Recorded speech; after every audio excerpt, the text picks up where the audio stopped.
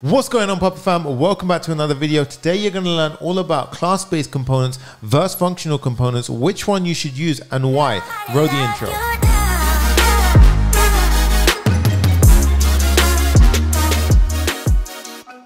This video was made possible by our amazing friends over at Skillshare. Not only has your boy Papa React been able to hook you up with one month completely free, but you can also go ahead and check out my entire React Basics 101 course, which has this lesson plus many other React Basics lessons inside. Check this out. Skillshare is an online learning community where millions of people come together to take the next step in their creative journey. The thing I love about Skillshare is that there are no ads. They're always launching new premium classes and they also recommend really interesting classes. So before you know it, I'm actually no longer watching TV or Netflix. All I do is watch Skillshare while I'm actually eating my food. Most classes are under 60 minutes, so they should be able to fit any schedule, whether you're super busy or you've got a little bit more time on your hands. I've actually gone ahead and dropped the React Basics 101 entire class on Skillshare. The first 1,000 people to use the link in the description are going to get a free month worth of premium Skillshare and you're going to be able to with that access the React Basics which I've uploaded. On top of that you're going to get access to thousands and thousands of courses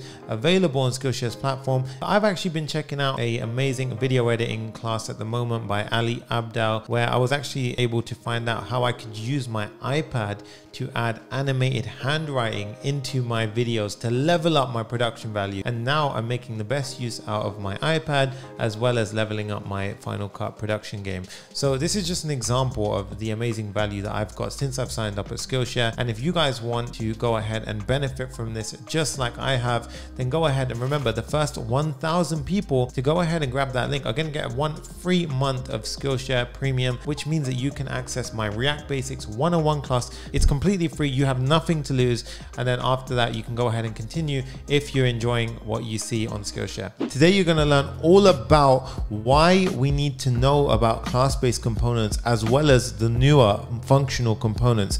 Now, if you're wondering, do I need to know both or why do I need to know this in the first place? Well, it's super important because when you go into a company, it's most likely that some of their code will be owed and therefore they may be using traditional class-based component code, which you're going to need to understand. So at the end of this video, if you understand class-based and functional components, smash the thumbs up button, hit the subscribe and bell notification icon. And without further ado, guys, enjoy the video, Papa Fam. Let's go. So starting off, when we do create React app, we get this starting template where we get the functional component app, which is built for us. Now, you would have reached this point if you had done the previous lessons. So at this point, all I want you guys to go ahead and do is start up your app by running npm start and then it will go ahead spin up on localhost 3000 okay so once you're at this point this firstly is something called a functional component okay? So this is a functional component. Now why is it a functional component? Because it's literally a function that returns something okay? So that's all a functional component is. It's a function that returns something for us okay? So it's extremely simple and it's pretty pretty easy to write right? Now if we want to write this same component as a class-based component now it gets a little bit more tricky right? So what we need to do is go ahead and I'm going to use ES snippets, which we've installed in the previous lesson. And I'm going to go ahead and do React class-based component. So I'm going to do React CC, and then it goes ahead and creates a class-based component. Okay. Now inside of here, if I want to do the same thing, I can go ahead and say hello. Oops. I can say hello world, save it, and we get the exact same outcome. So you see, what's simpler, this or this? See, in theory, this is actually a lot simpler, guys. Now, because it's very straightforward, it, a function has some kind of input and some kind of output. The input would be the props and the output being whatever is returned from that function, which is a lot simpler in my opinion. So imagine we had a function and this function had some kind of input, right? So, and then we had the function here. So this is our function and this is called app, okay? And then what we do is the app does some logic, it has some UI rendering logic, and then it simply outputs something. This is a functional component. It's as simple as that. Now, what are the what is the input here? The input could be props, okay, and the output would be the JSX, right? So it's pretty straightforward and, and that's really as complicated as it gets when we're talking about functional components. You want to use capital letters whenever you do this. So we have an input of props. It we have some UI rendering logic going on, and then it returns some JSX. So this right here would be your JSX that gets returned. Okay, so very, very straightforward. Now, everything kind of gets a little bit different when we move over to class-based uh, components. So I'm going to go ahead and move this from the screen. And what I'm going to do is I'm going to undo what we previously had. So we previously had this hello world, but a class-based component. Now to get it in the exact same format, I'm going to go ahead and say export um, default app. So there you go. It's a very similar format now to what we had previously, right? So if I was to go ahead and put this side by side in a comparison, and I was to go ahead and change this to JavaScript, React, there we go. And I was going to go ahead and say RFCE. Now what we would have is this essentially. So we have the same app on each side. So I'm going to go ahead and break this down. So hello world. And this is actually a very simple way to see the differences between the two components. Okay. So here you can see class app extends component and here you can just see function app, right? So here we need all these extra things. Now notice the first thing is class, right? Which is why in fact in our JSX we now use class name because class is reserved and it's used to define class components. Now, that's all cool, but again, functional component is pretty simple, right? Functional component is seems like a lot easier right, way, right? So you might also notice the render function. So in a functional component, we can simply return our JSX. It's as simple as that. In a class-based component, we actually need a render function, which then has the ability to return the JSX. Inside the render function, we can do a bunch of things. We can have console logs. Um, you can have a bunch of JavaScript executed in here. And this is going to run every time the component re-renders. So that's another topic for a, a later lesson about component life cycles and all of those um, things that can get interesting inside of React. So here we have the example of the same component, okay? Now, how do we go ahead and consume these? It's the exact same. So if we go to where the app is used, we can see here inside of our index.js. So I'm going to go ahead and close that one now. So we can see here inside of index.js, regardless of if it's a functional component or a class-based component, as long as the component is exported, everything is okay, right? You just need to import the component, regardless if it's functional or class-based, and just use it as following, right? Now, components are a little bit more clever than that, right? They're a little bit smarter than that. And the reason why we couldn't use functional components before is because we couldn't support something called state.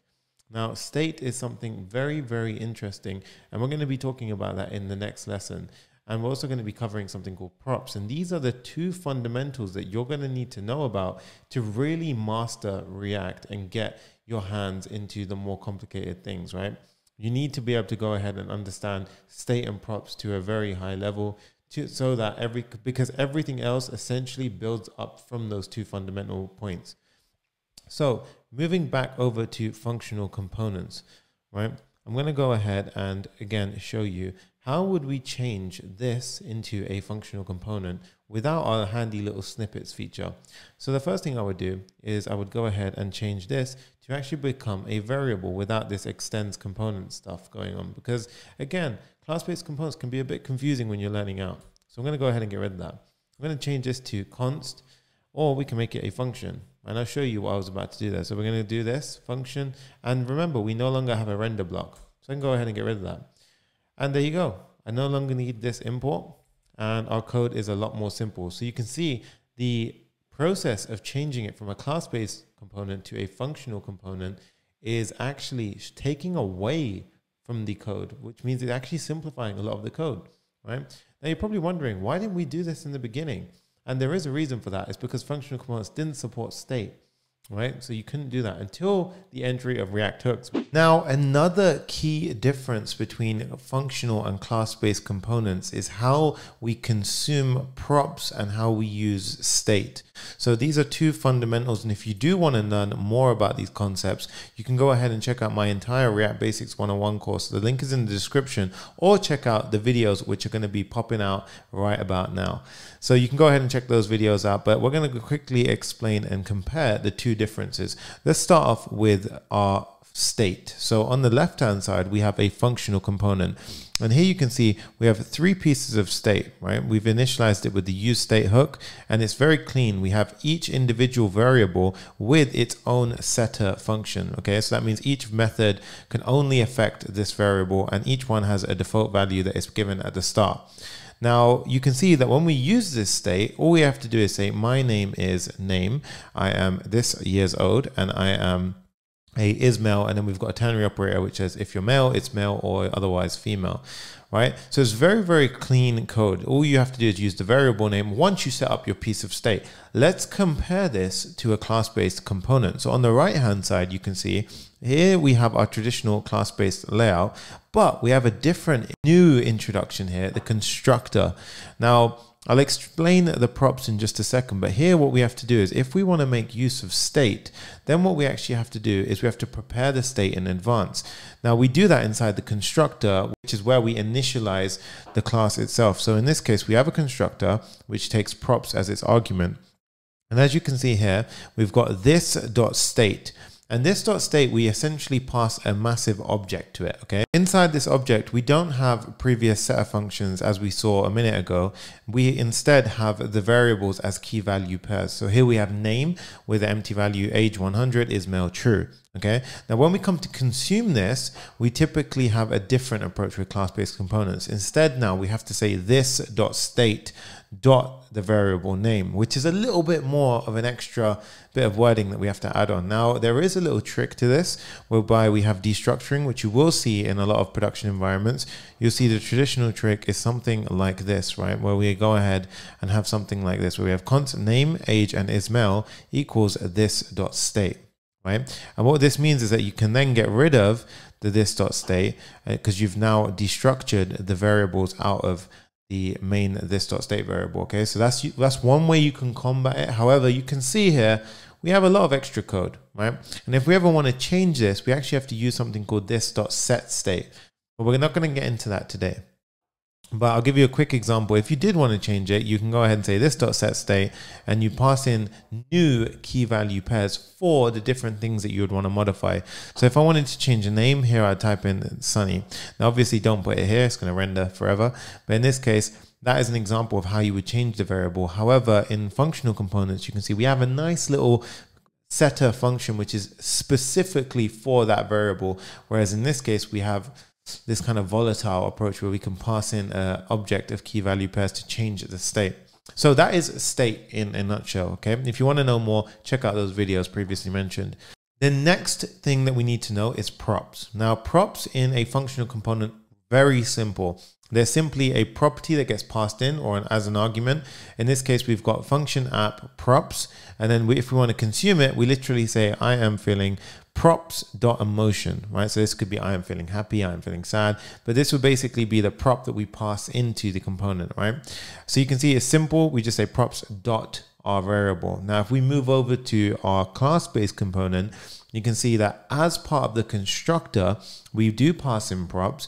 And if you've ever done any kind of class-based component programming before, you'll know something called inheritance. And what is essentially happening here is whenever we have a super call, what it's doing is it's passing props up to the parent constructor.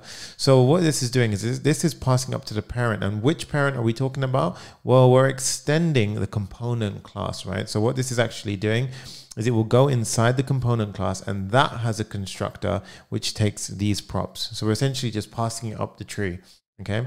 And that allows us to then use them. So we have to make sure we do that.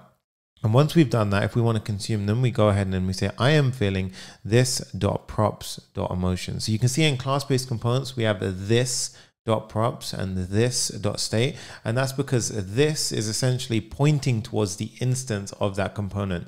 And that's why we need that in this case. But you can go ahead and combat that here by saying something like this. You can have emotion equals this dot props. And then you can go ahead and actually get rid of it like so okay now that is another way to combat it however as you can see a lot more code a lot more cumbersome. This is why we naturally prefer functional components. They're very clean, they're very to the point, and you can actually clean up the functional component even more here where we have the props at the top, we can actually do ES6 destructuring and put in some curly brackets and actually destructure the variable that we want. So in this case, if I go ahead and hit save, you've got the emotion, which is getting destructured out of the props. And then we can go ahead and use it as so, right? So we have single variable names here, very, very clean stuff. And if you had several others, you can go ahead and literally enter the names here. So if you had something like, um, let's just imagine you had, um, let's just imagine you had year being passed in. So like if you're in year five, year six, you can go ahead and do that if you're in a school, for example. And then if you wanted the rest of the props, you can just go ahead and do dot, dot, dot props. And that would essentially have pull out the emotion, the year, and the rest of the props would be pulled into this variable as so. I hope you've enjoyed today's session. This has been a really, really fun video to make because for me, it's one of the most important concepts that you're going to need to know because when you go into a production environment, chances are it's not going to be written in the most modern way, right? So it may not be all written in functional components. You would still have be, or you'd still be modifying some class-based components. Now, if you do want to learn more about this, for example, class-based components have lifecycle methods, whereas we use the use effect hook inside of a functional component. Feel free to check out my use effect video over here. If you've enjoyed this video, smash the thumbs up button, hit the subscribe and bell notification icon to get more videos just like this, and drop a comment if you learned something something new. Until next time, guys, I will see you in the next one. Peace.